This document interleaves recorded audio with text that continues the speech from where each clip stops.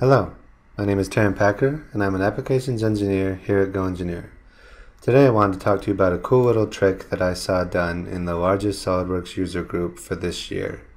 What they did was they drained and filled the tub right here in SOLIDWORKS. And they did it rather quickly, so I didn't quite catch what they were trying to do. So what I had to do was I had to take the time to figure it out myself. And now I want to show you in this video how you can do it on your end as well. So the first thing you need is a bathtub, obviously. It doesn't need to be this shape, it could be any bathtub. But you do need to bring it into an assembly file, so let's do that now.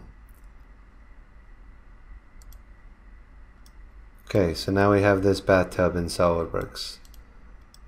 Now what we need to do is we need to have another part file that we can use to pull the water from the bottom position to the upper position to simulate the filling and emptying of the tub. So I'm going to use this little duck file. But it's obviously in the incorrect position here. So what I'm going to do is I'm going to make it to the correct position. Okay, now this part file can only move up and down and that's it. But it can move through the tub and outside of the tub. I just want it to remain inside of the tub. So what I'm going to do is I'm going to come up here to my mate command, go to my advanced mates, and I'm going to use this advanced distance mate.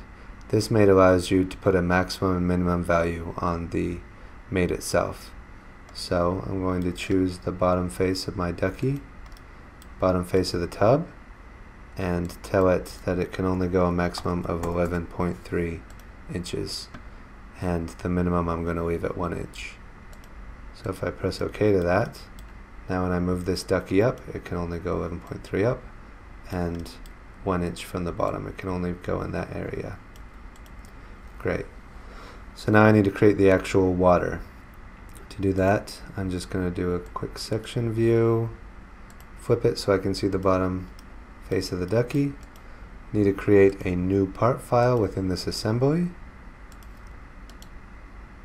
I'm going to put a sketch on the bottom part of that ducky and my actual geometry for this part file will be the water in the tub to get that geometry to match this tub face perfectly, that would be very difficult to actually sketch. So I'm going to use the sketch level intersect curve command and I'm going to choose this face here. And what that does is it gives me a sketch line that's perfectly aligned with that face because the plane that I'm on, the sketch plane that I'm on, intersects that face that I chose. Any face that you choose in this select entities box that the plane that you're on intersects, it'll create sketch uh, sketches on those faces. I can extrude this and if I pull this down you'll see I get all this all this water outside of the tub that I don't like. Alright? So blind extrude won't work. What about up to surface? Will that work? Nope, that gives me geometry outside of the tub too. I want it to be contained within the tub like, a, like water would be. What about up to body and I choose this body? That would work except for this hole. This hole allows the extrusion to go out into infinite space and the computer is not able to calculate it. What I need to do is I need to plug up that hole To that I'm going to come up here to surfaces, go to offset surfaces, click on these three faces to create surfaces on those faces. I'm going to say 0 inches so it's perfectly aligned with those faces. Press OK. Now I actually want to open up that surface and you can see there's a surface up here under surface bodies but I want to close up those holes. So I'm going to go to filled surface. You can just click on the boundary that you want to fill and it creates a filled surface on that boundary. Do the same for this one up here. And now I have three different surfaces, but I want them all to be one surface. So I'm going to knit them together using the knit surface command. Choose those three, merge entities, press OK. Now it's all one surface.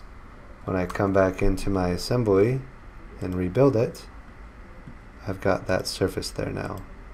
So now I can edit this part file, choose that sketch, do extrude boss, do up to surface because we just created a new surface, click on the surface we just created, and it perfectly fills that tub as if it's water because it's going up to the knitted surface that we just made.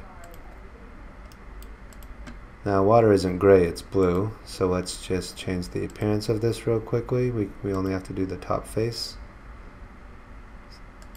Make it blue. Now it looks like we actually have water in there. Here's the cool part.